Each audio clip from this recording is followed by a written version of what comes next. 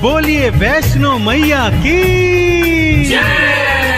भक्तजनों, माँ वैष्णो देवी का मंदिर हिंदू मान्यता अनुसार शक्ति को समर्पित पवित्रतम हिंदू मंदिरों में से एक है, जो भारतवर्ष के जम्मू और कश्मीर राज्य में त्रिकुट पर्वत पर स्थित है। यहाँ पर मैया तीन पिंडियों के रूप में गुफा मंदिर में स्थापित है। तथा दर पे आने वालों को दर्शन देकर उनके जन्मों जन्मों के संचित पाप कर्मों का नाश कर रही है। उन्हें मुक्ति का फल प्रदान कर रही है। जितनी रोचक माँ के भवन की चढ़ाई है, उतनी ही रोचक माँ के प्राकट्य की पावन गाथा है, जो आज मैं आपको संगीत में रूप में सुनाने जा रहा हूँ। तो एक बार फिर से बोलिए बोलिए वैष्णवी मैया की।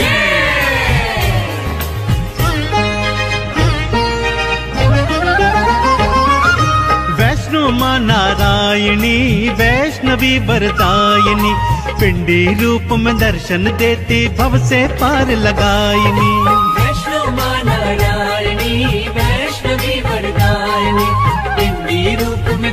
में दर्शन देती भव से पार लगायिनी वैष्णो मैया नमो नमः माँ वैष्णवी नमो नमः पिंडी रानी नमो नमः माँ कल्याणी नमो नमः वैष्णो मैया नमो नमः माँ वैष्णवी नमो नमः पिंडी रानी नमो नमः माँ कल्याणी नमो नमः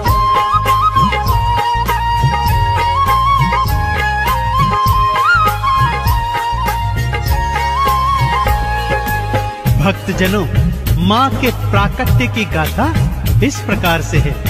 जम्मू स्थित कटरा ज़िले में हंसाली नामक गाँव था भक्तों। इसी गाँव में एक निर्धन ब्राह्मण श्रीधर अपनी पत्नी के सहित रहा करता था। माँ वैष्णो का परम भक्त भक्तों। दिन रात माँ की भक्ति करता और जो रूखा सूखा मिलता, उसको माँ का प्रसाद समझकर माँ को भोग लगाकर स्वयं भी ग्रहण करता। उसके जीवन की बस एक ही तमन्ना थी कि मैं माँ के नाम का जागा करवाऊं और अगले दिवस सारे गाँव वासियों को माँ के नाम का भंडारा खिलवाऊं। पत्नी उसकी बात सुनकर कभी हंसती और कभी रोती थी। घर में खाने को अन्न का एक दाना भी नहीं था और उसका पति सोच रहा है पूरे गाँव को भंडारा खिलवाने की। परंतु माँ का परम भक्त श्रीधर अपनी पत्नी से कहता, हे प्रिय, माँ ने जागे की और भंडारे की प्रेरणा दी है तो करवाएगी भी मेरी वैष्णवी मैया. श्रीधर ने मन में था सोचा, माँ का जागा करवाऊं, जागे के अगले दिन भक्तों को भंडारा खिलवाऊं।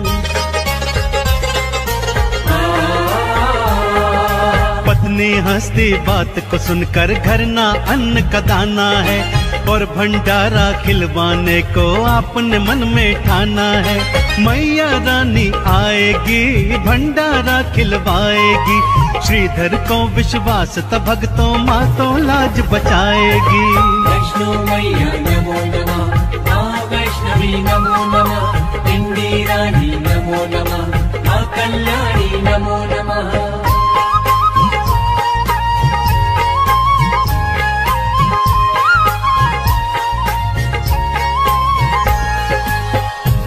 एक रात उसे स्वप्न में माता वैष्णो के दर्शन हुए। माँ ने आश्वासन दिया कि जा मेरे भक्त, मेरे नाम का जागा करवा और अगले दिन पूरे गाँव को मेरे नाम से भंडारा खिलवा। श्रीधर अगले दिन सुबह सुबह उठा और माँ का नाम जपते जपते पूरे गाँव को जागे का और भंडारे का निमंत्रण देने निकल गया। पत्नी ने बहुत समझाया कि ये आपका भ्रम है। परंतु श्रीधर पर तो माँ की नाम कुमारी चढ़ गई थी। सारे गाँव सहित वो भैरवनाथ और उसके शिष्यों को भी भंडारे का निमंत्रण दे आया। सबके मनों में कौतूहल है कि भला ये दरिद्र हमें क्या भंडारा खिलवाएगा।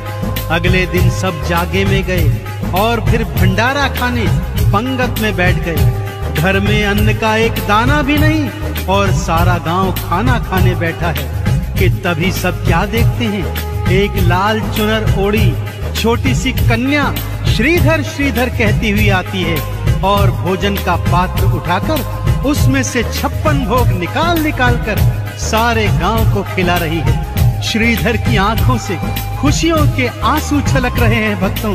मैया का चमत्कार ऐसा ही है।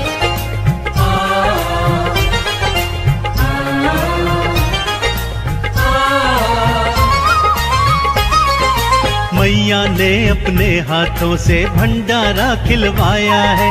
श्रीधर तो खुशियों में झूमा, मन ही मन हर्षाया है।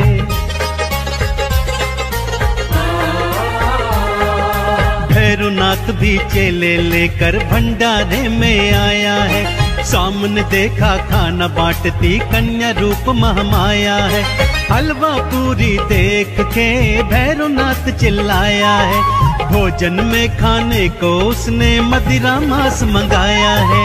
वैष्णो मैया नमो नमः वैष्णवी नमो नमः नमो नमः कल्याणी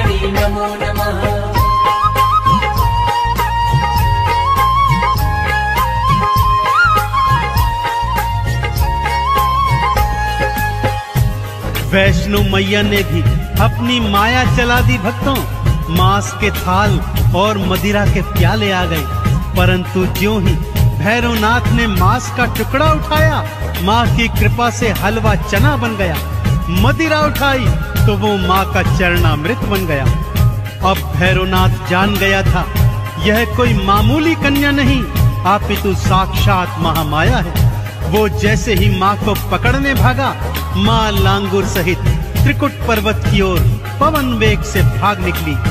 मैया की अजब लीला है भक्तों, माँ और लांगुर आगे आगे और भैरवनाथ पीछे पीछे। दौड़ते दौड़ते लांगुर को जब प्यास लगाई तो माँ ने बाण मारकर धरती से गंगा प्रकट कर दी। आज भी सभी भक्त इसको बाण गंगा के नाम से जानते हैं और यहाँ पर स्नान करके अपने तन के रोगों को दूर करते हैं। आगे चलकर माँ एक गुफा में जाकर छुप गई और लांगुर बाहर पहरेदारी करने लगा।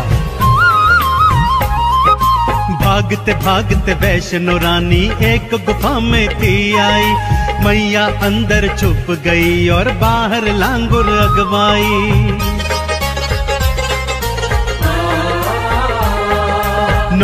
महीने तक लांगुर और भैरवनाथ का युद्ध हुआ। युद्ध भयंकर था, भक्तों पर कोई परिणाम नहीं निकला। मैया क्रोध चढ़ आई है, गुफा से बाहर आई है। भैरवनाथ से युद्ध करण को हाथों खड्ग उठाई है। नमो वैष्णवी नमो नमः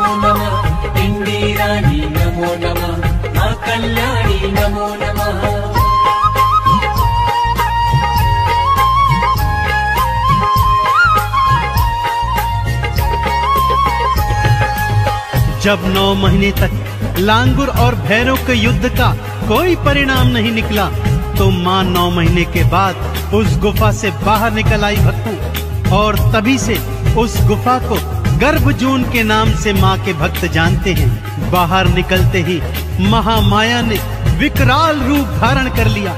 आठ भुजाओं में अनेक अनेक अस्त्र शस्त्र धारण किए, और माँ भैरवनाथ से युद्ध करने को तत्पर हो गई। भैरवनाथ को भी माँ के नाम की अलख जग गई भक्तों। परंतु जब तक वो अपने पापों की क्षमा माँगता, माँ ने खड़क प्रहार से उसका शीश उड़ा दिया। भैरवनाथ का कटा शीश दूर जाकर भैरव घाटी में गिर गया और वो कटाशीश माँ के नाम का सुमिरन करने लगा। माँ ने भी दयावान होकर उसे अभय वरदान दिया कि जब तक मेरे दर्शनों के पश्चात तेरे शीश के दर्शन नहीं होंगे। मेरी यात्रा का फल संपूर्ण नहीं होगा।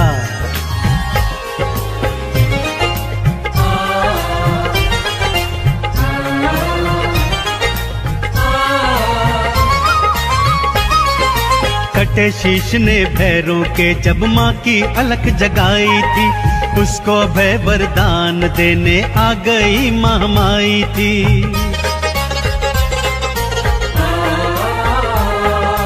जब तक मेरे दर्शन करके तेरे धाम न जाएँगे, मेरे धाम की यात्रा का पुण्य कभी ना पाएँगे। मैया के दर्शन के बाद भैरव घाटी जाते हैं, मैया के भैरव के दर्शन भक्त सारे पाते हैं। वैष्णो मैया नमो नमः वैष्णवी नमो नमः नमो नमः कल्याणी नमो नमः।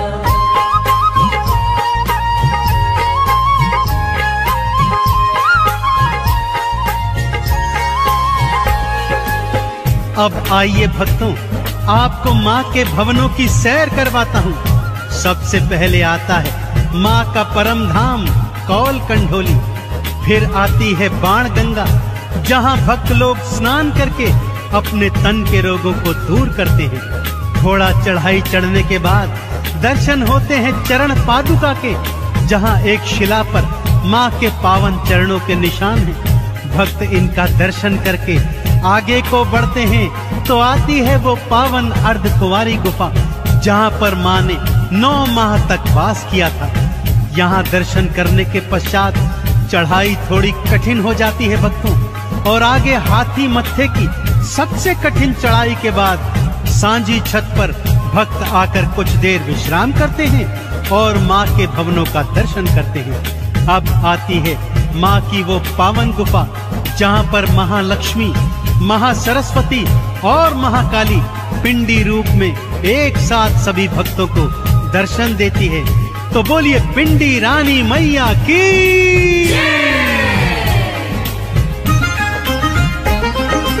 ऊँची चढ़ाई ना घबराना मैया, आप बुलाती है।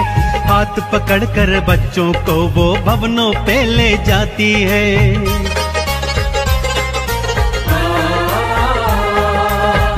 नारियल का भोग लगाते, चंदन तिलक लगाते हैं। मैया रानी के भवनों से मुक्ति का फल पाते हैं। लाल चुनर जो मैया को हाथों से पहनाते हैं। भव सागर में कभी न डोले पार, वो लग जाते हैं।